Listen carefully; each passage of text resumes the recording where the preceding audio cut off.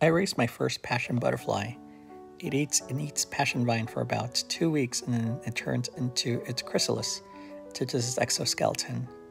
Here you see it twitching, like trying to get into its Christmas sweater. Tight fit. Then it's in its chrysalis for about another two weeks. Looks like a dead leaf right now. And then just right before it emerges, it turns a little darker. And then here we have our passion butterfly. It stretches and dries out its wings. Here you see it extending its proboscis. Reminds me of Peacemaker on HBO. Scary. Here's a beautiful passion butterfly. Beautiful bright oranges, and off you go into my garden. Also, this one was fun to keep because it wiggled a lot for some reason. Lots of fun.